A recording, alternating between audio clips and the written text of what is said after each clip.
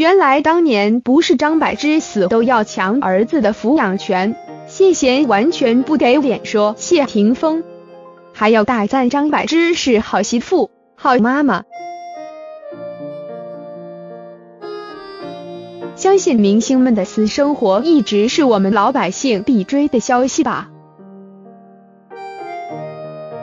说到娱乐圈的明星婚姻，似乎很难有从一而终的。因为他们得到的很多，那么必定相应的会失去某些东西。谢霆锋和张柏芝当初的结合是娱乐圈难得的金童玉女，可是谁叫他们身处在娱乐圈这个大染缸呢？周围大处都是诱惑和舆论。如果当初不是陈冠希的不小心引发照片门。那么谢霆锋和张柏芝的婚姻也许会更长一些。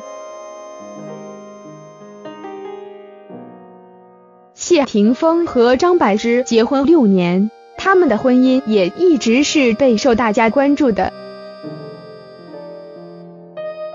张柏芝为了谢霆锋也甘愿放弃自己的事业，更是相继诞下两个儿子。张柏芝年轻时的却疯狂过、任性过，但结婚后完全是变了样。尤其是身为人母后，更是体会到了自己的责任和义务。不过，即便是张柏芝心里一直有谢霆锋，但还是换来了谢霆锋的一纸离婚书。本以为张柏芝会净身出户。毕竟带住两个儿子再嫁人的话并不容易，但是张柏芝却是态度很强硬，拿下了孩子们的抚养权。当然，谢霆锋也必须承担起两个儿子的生活费。那么，谢霆锋究竟有没有争取过孩子们的抚养权呢？难道他真的对自己孩子无动于衷吗？四哥谢贤曾在采访中一语道破了事情的原委。谢贤表示，霆锋性格比较倔，而且无所畏惧。当然，在事业上他还是很努力，而且赚的钱也多。不过他还是有点贪玩。相反，柏芝变得更为成熟，另外对于教育孩子更为主见。这么些年也证明了孩子交给他抚养是正确的。可见他对张柏芝这个前儿媳很满意。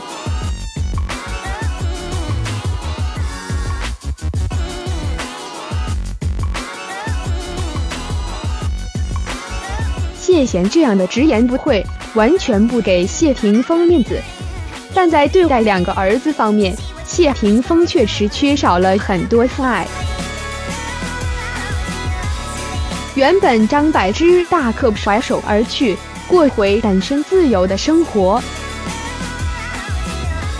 但她却选择了一条坎坷艰辛的路。带过孩子的妈妈们应该深有体会。